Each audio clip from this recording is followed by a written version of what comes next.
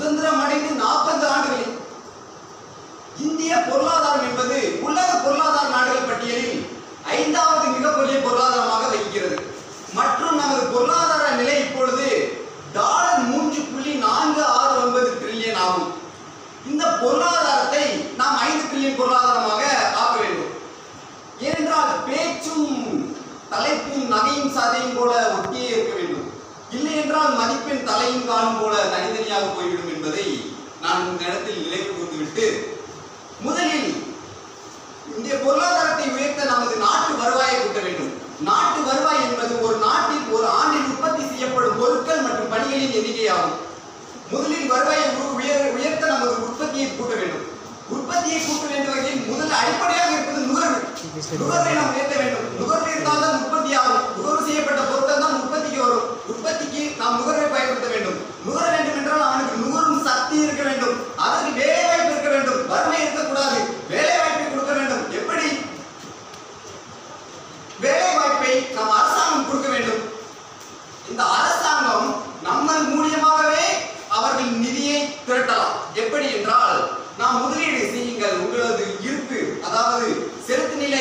வட்டி விகிதம் ஐந்து சதவீதத்திலிருந்து ஏழு சதவீதமாக உயர்த்தி தருகிறோம் உங்கள் முதலீட்டை எங்கள் வங்கியில் கொடுங்கள் என்று கூறி நமது முதலீட்டை அதிகரித்து அந்த முதலீட்டை எடுத்து வங்கிகள் நமக்கு வேலை வாய்ப்பு கொடுக்கலாம்.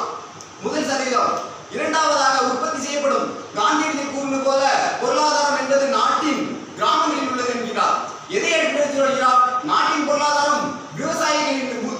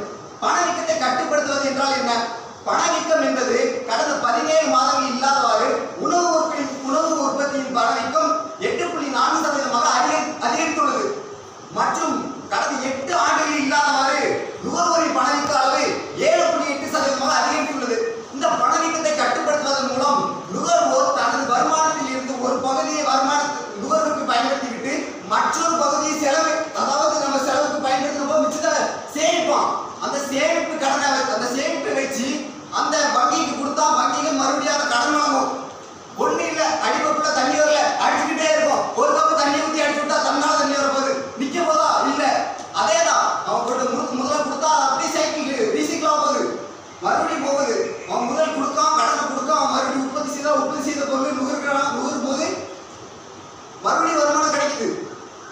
உற்பத்தியாளருக்கு என்ன போகுது? வருமானம் போகுது. இதான் எக்கனாமிங்க அடுத்ததான் நான் மூணாவது ஒன்று சொல்லிருக்கேன். மூணாவது ஒன்று சொல்லிருக்கேங்க. நம்மளோட ஏற்றுமதி இறக்குமதியை குறைக்கணுங்க. என்னத? ஏற்றுமதியை கூட்டணும் இறக்குமதியை குறைக்கணும். எதுக்கு சொல்றேன்னா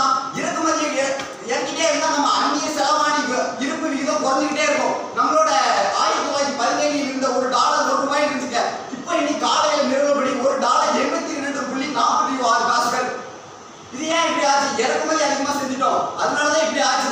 இறக்குமதி குறைச்சாச்சுன்னா உள்நாட்டு உற்பத்தி பாதுகாக்கப்பட்டுரும். சீனா பட்டாசு இப்ப நிறுத்தியாச்சுன்னா அவன் சுங்கவரி விரி அப்ப என்ன செய்வான் சுங்கவரி விரிச்சுன்னா அவன் நிப்பாட்டிடுவான் அப்ப சிவகாசி தொழிலாளர் வாழ்வாங்க. நம்ம நாட்டு உற்பத்தி அதிகமாகுங்க. நம்ம நாட்டு உற்பத்தி ஆகும் நம்ம நாட்டு வருவாய் கூடும். நம்ம நாட்டு வருவாய் கூடா என்ன? நம்ம வளர்ச்சி பெறுவோம். இதான் நான் சொல்ல வந்த கான்செப்ட் அதுக்கப்புறம்